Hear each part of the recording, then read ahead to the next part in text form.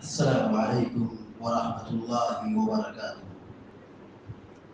الحمد لله رب العالمين والعاقبة للمتقين والصلاة والسلام على أشرف الأنبياء والمرسلين نبينا محمد وعلى آله وصحبه أجمعين وبعد.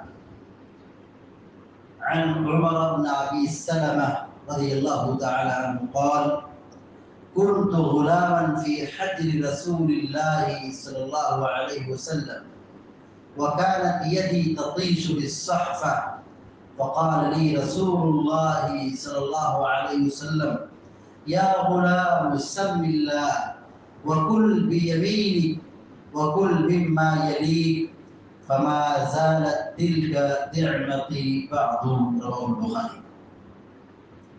صحیح بخاری شریف کی روایت ابھی آپ کے سامنے پڑھی گئی ہے۔ حدیث کے راوی حضرت عمر بن ابی سلمہ رضی اللہ تعالیٰ عنہ وہ بیان کرتے ہیں کہ کنت غلاما فی حجر رسول اللہ صلی اللہ علیہ وسلم، کہ میں نبی کریم صلی اللہ علیہ وسلم کی زیر تربیت تھا اور چھوٹا بچہ تھا۔ میں ایک چھوٹا بچہ تھا جو نبی کریم صلی اللہ علیہ وسلم کے زیر تربیت تھا، یہ نبی کے پاس رہتا تھا۔ وکانت یدی تطیش بالصحفہ کہیں گئے تھے دعوت تھی اور میں چھوٹا بچہ تھا تو وہاں دسترخوان پر جب بیٹھے ہم لوگ کھانے کے لیے، تو وکانت یدی تطیش بالصحفہ برتن کے چاروں طرف میرا ہاتھ چکر لگا رہا یعنی کھانے کا جو طریقہ ہوتا ہے کہ آدمی سامنے سے کھائے۔ میں چھوٹا بچہ تھا، دسترخوان کے جو برتن لگے تھے، اس برتن کے چاروں طرف سے میں کھا رہا ادھر سے لے رہا تھا ادھر سے لے رہا تھا ادھر سے لے رہا تھا ادھر سے لے رہا تھا اسی کو کہا کہ وکانت یدی تطیش فی الصحفہ برتن کے طرف میرا ہاتھ کیا تھا، گھوم رہا تھا۔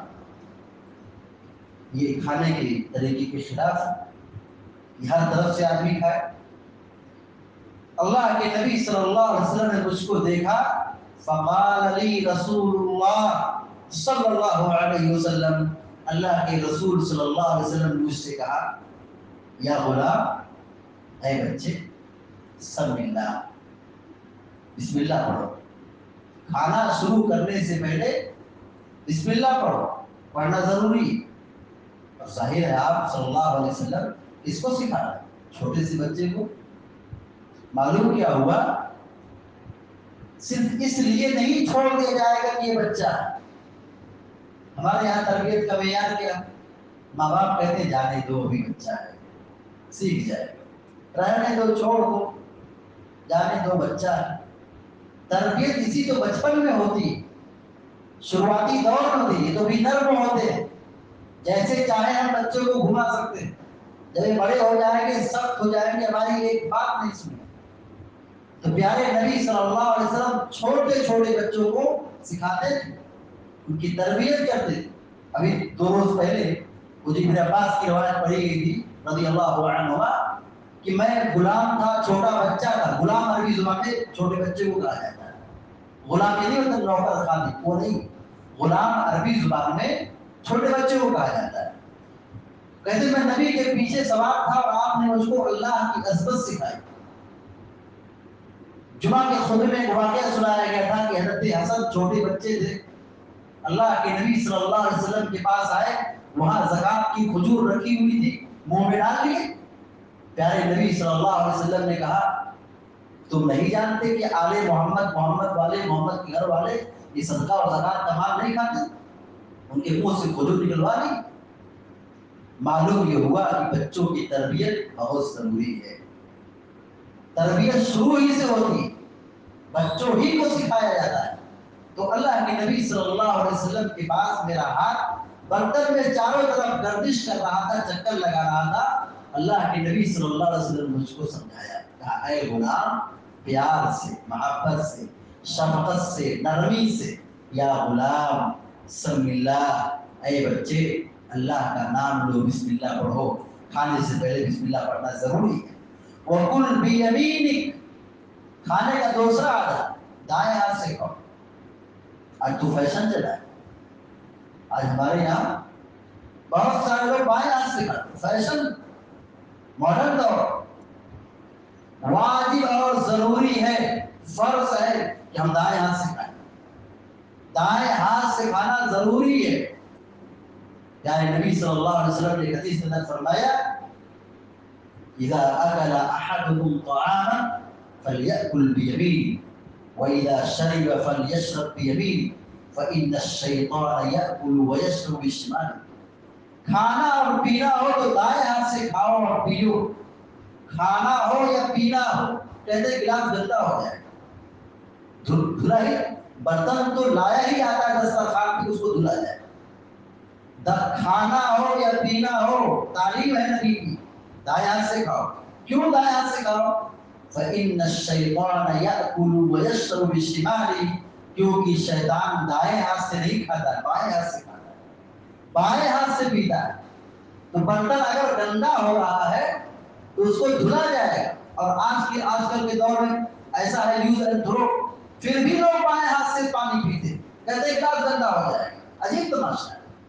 واجب اور ضروری ہے یہ۔ دائیں ہاتھ سے کھانا، دائیں ہاتھ سے پینا، کیونکہ شیطان دائیں ہاتھ سے نہیں کھاتا ہے۔ شیطان کھاتا اور پیتا ہے بائیں ہاتھ سے۔ تو پیارے نبی صلی اللہ علیہ وسلم نے یہ دوسری تعلیم تھی کہا، دائیں ہاتھ سے کھاؤ۔ وَكُلْ مِمَّا يَلِيكَ تیسری تعلیم آپ نے یہ دی کہ جو تمہارے سامنے ہے وہاں سے کھاؤ، برتن کے سامنے سے کھاؤ۔ چاروں طرف سے نہیں۔ کھانے کا ادب یہ ہے کہ سامنے سے کھاؤ۔ دائیں بائیں آگے پیچھے سے نہیں، بالکل سامنے سے وہاں سے کھانا کھاؤ۔ اس کے بعد فرمایا، فما زالت تلك طعمتي بعد۔ صحابی رسول عمر بن ابی سرا رضی اللہ تعالی عنہ، جو نبی کریم صلی اللہ علیہ وسلم کے پاس رہتے تھے، ان کی زیر تربیت تھے۔ وہ کہتے ہیں کہ نبی نے جب مجھ کو یہ سکھایا کہ بسم اللہ پڑھنا ہے، سیدھے اور دائیں ہاتھ سے کھانا کھانا ہے، اپنے سامنے سے کھانا ہے۔ فما زالت تلك تعمتي بعد۔ اسی ترتیب پر میرا کھانے کا انداز رہا اسی ترتیب پر۔ اسی طریقے پر میں کھانا کھاتا۔ رہا کس ترتیب پر؟ بسم اللہ پڑھنا، دائیں ہاتھ سے کھانا، سامنے سے کھانا۔ اسی نبوی ہدایت کے مطابق میں زندگی بھر کھاتا رہا۔ دائیں ہاتھ سے کھانا ضروری ہے، دائیں ہاتھ کمپلسری ہونا چاہیے، ضروری ہے۔ بائیں ہاتھ سے نہیں کھا سکتے، حرام ہے۔ نبی علیہ السلام کے سامنے ایک واقعہ پیش آیا، صحیح مسلم کی روایت ہے، اور دیگر محدثین نے بھی اس حدیث کو ذکر کیا ہے۔ صحیح واقعہ ہے کہ ایک صاحب تھے، اپنے بائیں ہاتھ سے کھا رہے تھے۔ نبی علیہ السلام نے کہا، دائیں ہاتھ سے کھاؤ۔ انہوں نے فخر و غرور میں کہا کہ میں دائیں ہاتھ سے نہیں کھا سکتا۔ میں کھاؤں گا، بائیں ہاتھ سے کھاؤں گا۔ دائیں ہاتھ سے کھا ہی نہیں سکتا۔ فخر اور غرور اور گھمنڈ میں انہوں نے ایسی بات کر دی۔ گستاخی کر دی نبی کی۔ نبی کی شان میں گستاخی کر دی۔ اس سنت کا معمولی سمجھا سنت کا استغفار۔ سنت کو ہلکا سمجھا پیارے نبی صلی اللہ علیہ وسلم نے بد دعا بھیج دی کہا زندگی بھر تم اپنے دائیں ہاتھ کو کھا نہیں سکتے۔ صحابہ کرام کہتے ہیں، اللہ اکبر، کہ ہم نے دیکھا ان کا ہاتھ شر ہو گیا، کبھی ان کے ہاتھ میں جان نہیں آئی کہ اس کو اٹھا کے کھا سکے۔ نہیں اٹھا سکے۔ تو پیارے نبی صلی اللہ علیہ وسلم کی ان مبارک تعلیمات کو کھانے پینے کے انداز میں اس چیز کو ہم نافذ کریں، اس کو ہم ہلکا نہ سمجھیں۔ دائیں ہاتھ سے کھانا، سامنے سے کھانا، بسم اللہ پڑھ کے کھانا، ہم خود اس سنت پر عمل کریں اور اپنے بال بچوں کو بھی اس کی تربیت کریں۔ دعا ہے اللہ سے اللہ تبارک و تعالیٰ ہم کو آپ اور سارے مسلمانوں کو نیک عمل کی توفیق عطا فرمائے اور شیطانی کاموں سے ہم سب کی حفاظت فرمائے۔ آمین یا رب العالمین۔ اقول قولی هذا واستغفر الله لي ولكم ولسائر المسلمين فاستغفروه انه هو الغفور الرحيم وصلى الله على نبينا محمد وسلم تسليما كثيرا